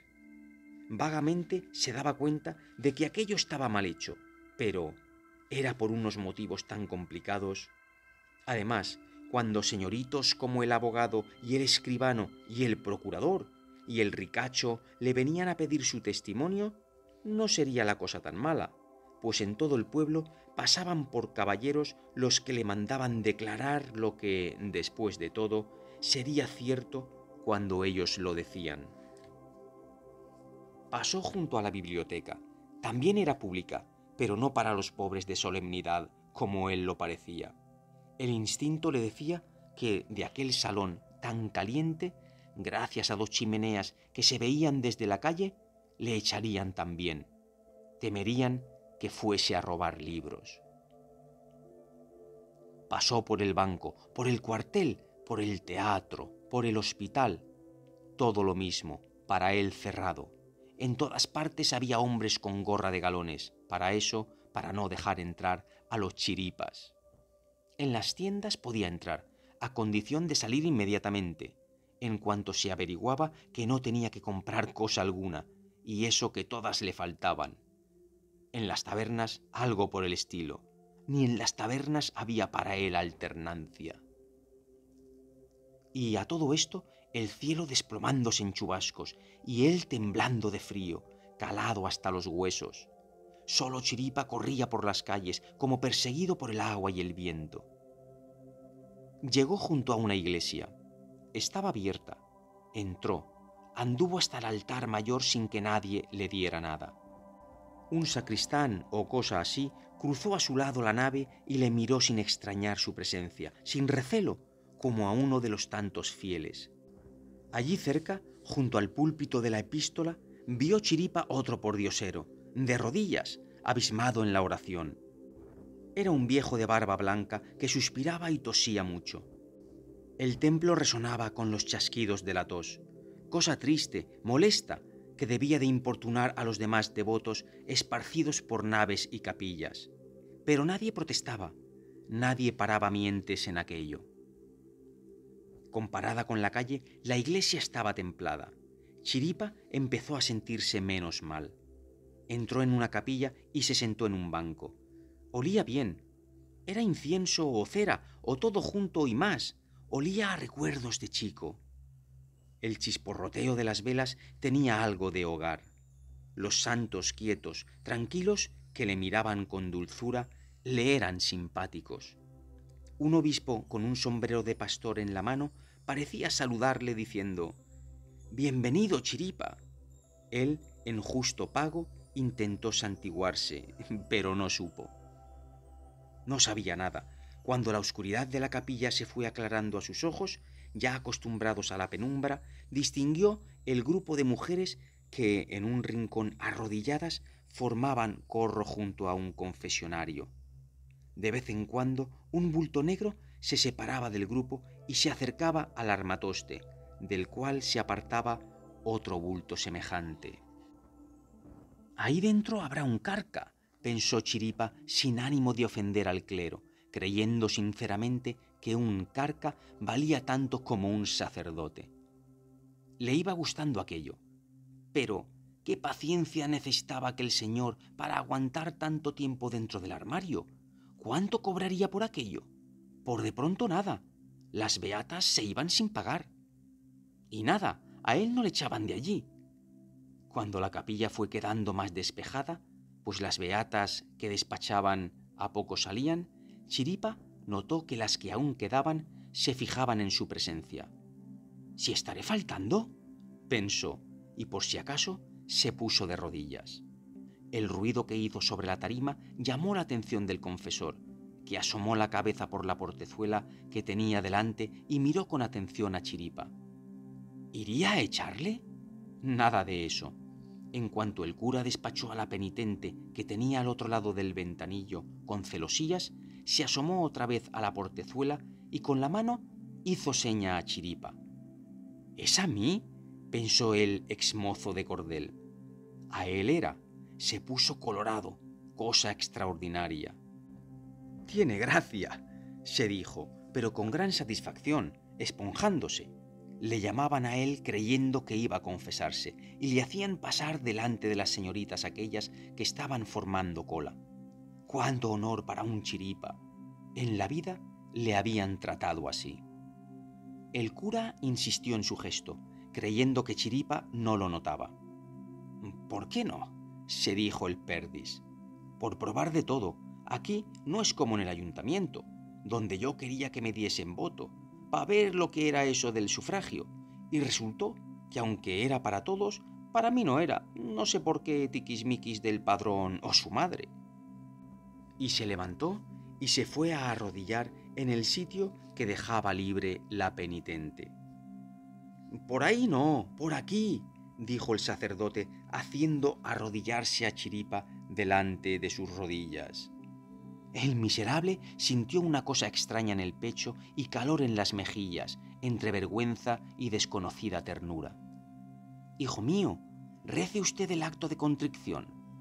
No lo sé, contestó Chiripa, humilde, comprendiendo que allí había que decir la verdad, la verdad verdadera, no como en la audiencia. Además, aquello del hijo mío le había llegado al alma y había que tomar la cosa en serio el cura le fue ayudando a recitar el Señor mío Jesucristo. ¿Cuánto tiempo hace que no se ha confesado? Pues toda la vida. ¿Cómo? Que nunca. Era un monte virgen de impiedad inconsciente. No tenía más que el bautismo. A la confirmación no había llegado. Nadie se había cuidado de su salvación y él solo había atendido, y mal, a no morirse de hambre. El cura varón prudente y piadoso, le fue guiando y enseñando lo que podía en tan breve término. Chiripa no resultaba un gran pecador más que desde el punto de vista de los pecados de omisión. Fuera de eso, lo peor que tenía eran unas cuantas borracheras empalmadas y la pícara blasfemia tan brutal como falta de intención impía. Pero si jamás había confesado sus culpas, penitencia no le había faltado había ayunado bastante, y el frío y el agua y la dureza del santo suelo habían mortificado sus carnes no poco. En esta parte era recluta disponible para la vida del yermo. Tenía cuerpo de anacoreta. Poco a poco, el corazón de Chiripa fue tomando parte de aquella conversión que el clérigo, tan en serio y con toda buena fe, procuraba. El corazón se convertía mucho mejor que la cabeza que era muy dura y no entendía. El clérigo le hacía repetir protestas de fe, de adhesión a la iglesia, y Chiripa lo hacía todo de buen grado. Pero quiso el cura algo más, que él espontáneamente expresara a su modo lo que sentía, su amor y fidelidad a la religión en cuyo seno se le albergaba. Entonces Chiripa, después de pensarlo, exclamó como inspirado, ¡Viva Carlos VII! No, hombre, no, eso no, no tanto, dijo el confesor sonriendo. Como a los carcas los llaman clerófobos, tampoco, hombre. Bueno, a los curas.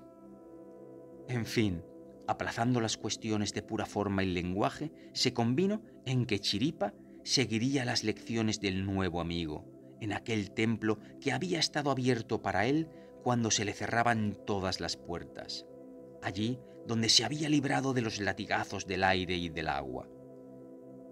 Con que te has hecho monago, Chiripa, le decían otros hambrientos, burlándose de la seriedad con que, días y días, seguía tomando su conversión el pobre diablo.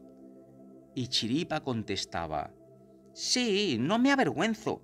Me he pasado a la iglesia, porque allí a lo menos hay alternancia.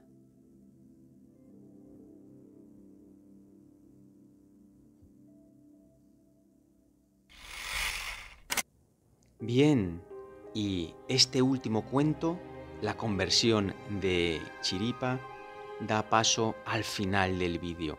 El final de una segunda entrega de cóctel de cuentos que evidentemente no va a ser la última. A mí estas entregas me encantan.